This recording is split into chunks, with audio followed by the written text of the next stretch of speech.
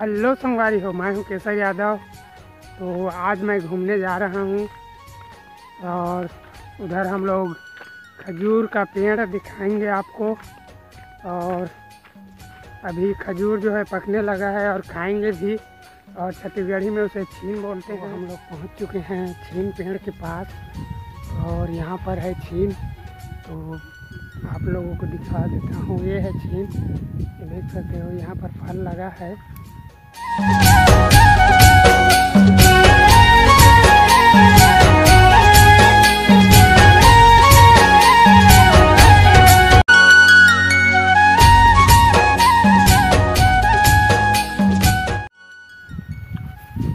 तो यहाँ पर देखिए तो ये है छीन छत्तीसगढ़ी में इसे छीन बोलते हैं। और इसका रियल नाम जो है वो खजूर है।